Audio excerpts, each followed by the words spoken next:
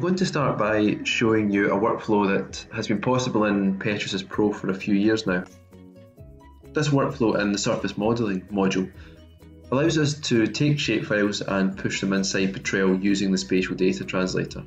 Now we can do this by connecting to the NPD's web feature service or we can use the shapefiles that come from the MPD. If I double click on one of these folders just to show you how this works, so in this case we're pushing license blocks into Petrel, so I'll click on Equinor and you can see we've taken the shapefile from the NPD and we are pushing it as the output data inside Petrel. Now if I run this workflow here, a number of our users in Norway will use this to push all of their cultural data inside of uh, a Petrel project. You can see all of the, the shapes going into the Petrel project, so whether it's license blocks or well information, pipelines, anything from the NPD can then be pushed to create a Petrel project.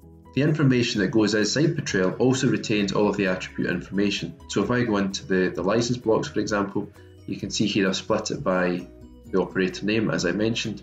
So if I toggle everything off and just display the Equinor blocks, I can also go inside these layers, go to the attribute spreadsheet, and you'll see all of the attribute information um, is still retained from the NPD shapefile.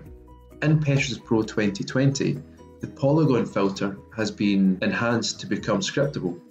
So to show an example of this, I'm going to go back and open up a different workflow.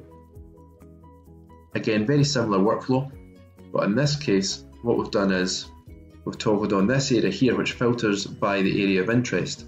And this polygon, which comes from Petrel, has been made scriptable. And what that means is, as a user, I can define my polygon in Petrel, either using an existing one or by creating a new one. I'll just change the name so that this becomes obvious. And back inside of Pro, when I run this task, a window will pop up which says click here to select your Petrel polygon. And I'll click on the button, click on here. I can use that blue arrow, it will automatically populate this feature class with the correct polygon. Click OK a few times and that will run. And now those shapes that are being pushed into my Petrel project are very specific to my area of interest, which means I'm now getting my company's most up-to-date GIS information specifically for the area that I'm working in.